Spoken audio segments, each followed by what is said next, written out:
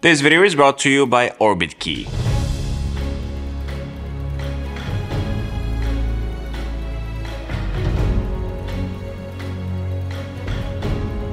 This is my home studio desk setup. As you can see, What do you think you're doing? just check the mic. Get out, man. Fine, man. Not my home studio, by the way, this is my office desk setup. Anyways, let's start with a desk. This is the IKEA's Uppspel desk that was built in collaboration with ROG. The frame itself is very sturdy and despite being deemed a gaming-oriented desk, it works just as fine in a more subtle, productive environment. The larger version of the desk is a bit on the expensive side, but it's not too crazy. One thing I didn't like from the beginning was the black tabletop. Although it was cut nicely and had a nice bevel up front and a recess on the back, the finish was collecting way too much dust and, most annoyingly, skin marks. Luckily, a good friend of mine was trying to find a new owner for this dark wood tabletop and I think the end result speaks for itself. At this point, the only hint of gaming remaining is the leg graphics which are fairly subtle. The desk has four height memory presets and a nice addition is the USB-A port on the height adjustable controller itself, which I always forget about. In terms of cable organization, things are not so bad as I can easily tuck everything inside the integrated cable tray that holds the power... Dude, Sorry, man, sorry. hosts the power outlet as well. The must-have addition to any of my desks is the full-size Balolo shelf, which serves a very interesting purpose here. This is the all-black finish which I think fits well with the tabletop. Since all Balolo shelves have the mounting grid on the bottom, I equipped mine with two trays and the side dock which keeps my M1 Max MacBook Pro tucked securely without taking up a lot of space. The shelf itself is sturdy enough to carry the weight of the Apple Studio display as well as half the weight of the leaning bottom display, which I'll talk more about in a second. Because of the monitor configuration, I'm sacrificing some of the front access to the shelf, yet I still have access to my trays on both sides. Plus, I don't think this setup would have been possible without the Balolo shelf. By the way, if you end up enjoying this video, subscribe because Yeah, can we? don't even think about it. Why not? Before we get to the dual monitor setup, I want to give a shout out to the last minute package that I got from Edifier. These speakers sitting on the all black shelf are a match made in heaven. Perfect head level sound, ideal finish on both of them, as well as ideal sound separation. These are the Edifier R1280dB speakers that feature 42 watts of total power for what Edifier calls distortion free listening. And you know what?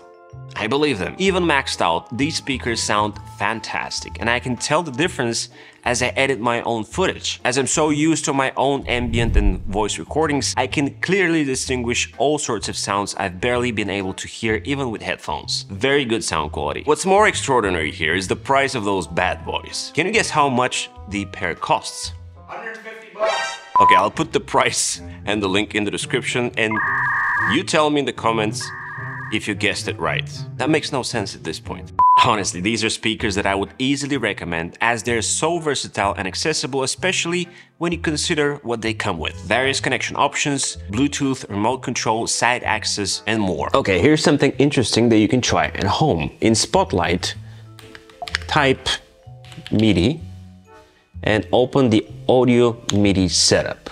And since I have multiple speakers on the desk, I can come and create a multi-output device and tell the Mac to run all these speakers with the exception of the MacBook Pro speakers all at the same time and I can experience a much richer sound overall. Very simple to do.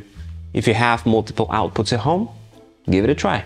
So going left to right, I'll start with the various bits and pieces. The brightest thing on the left side is the 8BitDo Ultimate Controller, which I recently featured in my favorite Mac accessories episode. This bad boy comes with its own charging stand and can connect with all sorts of devices including my Mac. As it is readily available, I can just reach out to it and smash some games while waiting for an export, for example. Check out my Mac accessories videos if you want to know more about it. Behind the controller, I have the Balolo pen holder where I keep my pens and pencils. Next up is an accessory that I use all the time, the Orbitkey Nest Organizer. Its compact design makes it an ideal addition to this desk setup or on the go as it can accommodate all sorts of loose items and keep them well organized. When I come to the office for example, I use it as a valet tray where I place my wallet and keys and inside I keep some of my Apple Watch bands, charger and more. On top, once plugged in, the left side of the lid functions as a 10 watt wireless charging pad, which is awesome if I need an additional charger or something that comes in very handy when traveling. The organizer comes with customizable dividers too, which is fantastic. At this point, you might have noticed the key organizer, which is special. This EDC accessory transforms my keys into a neat and silent stack, protecting my items from scratches. This new addition is part of Orbitkey's Star Wars retro collection inspired by iconic vehicles from a galaxy far, far away. It can hold between 2 and 7 keys, as well as fobs on the D-ring. Use code THISISE for 10% off all Orbitkey items across all international Orbitkey online stores. In the Balolo catch-all trays, I also keep other loose items like SSD drives, useful cables and adapters, and next to the left speaker, I have the Xiaomi screen bar controller, which I can press to turn on or off, or twist and rotate to change the temperature or intensity of the screen bar, which is placed on top of the studio monitor. Having a screen bar is as important to me as having casters on each desk. It's an inconspicuous accessory that adds just the right amount of necessity to my everyday life. You realize that thing is blocking your camera? Uh, yes, and I'll get to that in a second. Okay, moving on. The CalDigit TS4 dock is a paramount accessory on this desk as it connects all the bits and pieces around here. In fact, you can only give this little thing credit once you look at it on the back and realize how many things are plugged in. The CalDigit dock features 18 ports and one of my favorite features is the fact that both monitors and the laptop cable run from the back, allowing for a clean front setup. Continuing to the right, I have the M1 Max MacBook Pro, which is cradled inside the Balolo dock. Why is your mouse adapter not plugged into your dock? Because it stutters oh. when I use it and it has to be plugged in directly to the laptop. Why? Really, do we have to discuss this now? Fine. Anyway, on the right side of the laptop, I have the Benks headphone stand and charger, which is made with the AirPods Max in mind. As you can see, the shape doesn't allow for the AirPods Max mesh to stretch like on other stands, and the added bonus of having an additional charger is Nice. My main phone charger, however, is not that one. I usually top up my phone on the Nomad Stand 1, which is one of the heaviest and most minimal looking chargers out there. Because of its weight, this 15 watt charger stays firmly in place whenever I grab my phone from it. It comes in two colors by the way, and I think the white version would have been contrasting this angle a bit better, but the Panda, as I call it, looks just as good. So my main monitor is the Apple Studio Display. I have a separate review video of it, which I'll link in the description if you're interested. This 27-inch 5K display with its 600 nits sustained brightness is one of the best looking and most reliable displays I've used. For the longest of time, I've been using the built-in speakers of this monitor as they're absolutely fascinating. But now that I have the edifiers, I will keep them quiet for a while. I ordered the monitor with the optional height adjustable stand, which is a piece of art on its own, but for this setup, I could have easily gone for just the standard stand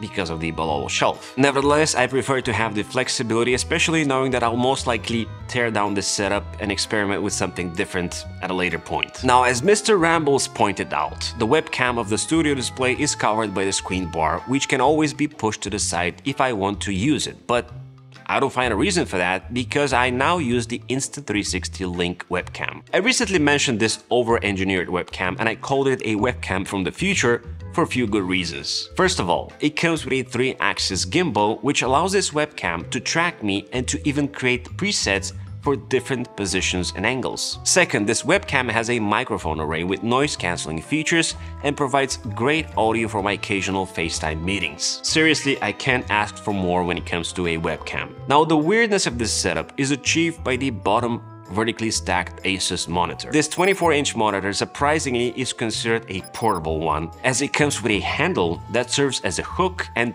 plenty of other mounting features, which I share in my last video. That specific handle is what allows me to put it at an ideal angle straight on the Balolo shelf. Even though this is a Full HD display which looks miles apart from the 5K display on top, I don't mind that, as I use it as a timeline monitor or an assistant to my main display. It might hold my Finder or my email client and most often my video editing timeline, where I don't require the most accurate and sharp image. Despite that, I'm pleasantly surprised at how bright and vibrant this display is, it being IPS, which has built-in speakers as well by the way. The only downside of this monitor is these side ports, which in my scenario is not ideal, but kudos to Asus for creating such a versatile monitor. Keep in mind that this setup is more of an experiment for me. I want to see if I'll find this vertical stacked setup useful in my workflow, so having such a big monitor in the bottom might not be the best solution for you. In fact, I'm already thinking of replacing that monitor with a smaller one like a 21 inch or even 15.6. The mouse and keyboard up front are placed on top of Orbitkey slim leather pad in this creamy white color. I think this mouse pad was made for this setup as it fits perfectly and locks the Asus monitor in place, not allowing it to slide down. If you want to know more about my mouse, keyboard and Stream Deck setup, you can jump over to my Mac accessories video here.